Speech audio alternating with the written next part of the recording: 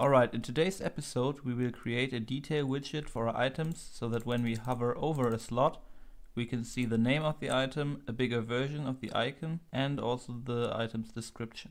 So let's get started. First off you want to go inside of your widgets folder and right click to create a new widget blueprint. Call that one detail widget. Open it up, change the setting to desired on screen and first off we will kill the canvas panel. Now we will start with a border. That will be the outer border, give it a padding of 3 to every side and change the color to white with an alpha of 0.5. Then drag another border on top of our border, that will be the inner border, give that a padding of 3 as well for the content and make the brush color complete black. Then we will search for a vertical box and add that on top of our border. On top of our vertical box we will first add a horizontal box. In that horizontal box we will display the item's icon, name and the category. So start with a size box for our icon. Make the width and height override to something bigger than the slot versions of our icons, so something like 85 should work. Line it to the left middle. Then search for an image. Add that on top of our size box. Call that our icon. And that's that. Then we will search for another vertical box. Add that on top of our horizontal box. Then search for text and we'll add one on top of the vertical box. This one will be our name. Make that a variable. Also give it some padding. 10 for the padding to the left, 10 to the top, and maybe also 10 to the right. Set the horizontal alignment to align left and the vertical alignment to align center. Also you can type in some text to see how it will look. Type in health potion Then grab another text, add that on top of a vertical box, and that will be our category. That should be a variable as well. Also give that some padding, so like 5 to the left, 2 to the top and 5 to the right worked fine for me. That will be aligned to the right and to the center. Also decrease the font size to something like 20 and make the font type italic. Then you can type in something like consumable. Okay, so now that's it for our name, category and icon. Let's go back to our vertical box and add a size box to that. Now we will just add an image to separate the areas with our icon, health potion and category from our description. So set that to fill and give it a height override of 3 pixel then search for an image, drag that on top of the size box, and for the color, leave it white and just lower the alpha to 0.5 again. After that, after that we have to add another size box to our vertical box and give that a width override of 0 pixel. You will see in a second why we need that. Also give the size box a padding, something like 5 to the top and 5 to the bottom. Then we will need another text to drop on our size box. Lower the font size to something like 18. Set the type to regular and make sure that it's auto wrapped so we can have multiple lines of text here.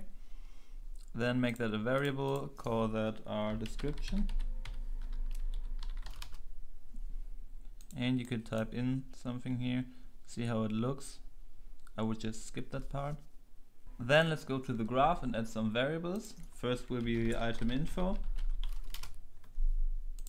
Make that s underscore item info. Also make sure it's editable and expose on spawn. Then add another variable that will be the amount. Make that an integer and also editable and expose on spawn compile and save. Now let's add an update function. Call it update And first we will get the description text, set text. And the text will come from our item info. So break that here, plug in the description. After that, get our icon, set brush from texture. For the texture, expand the S item info and get the icon. Then you will get the category, set the text. For the in text, get the category, make that to a, to a text and plug in the text here.